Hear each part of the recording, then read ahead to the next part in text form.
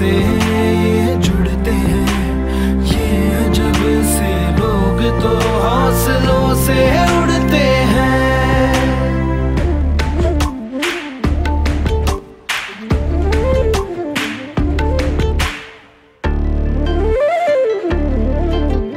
जब दुनिया इन्हें दबाती तो ये बात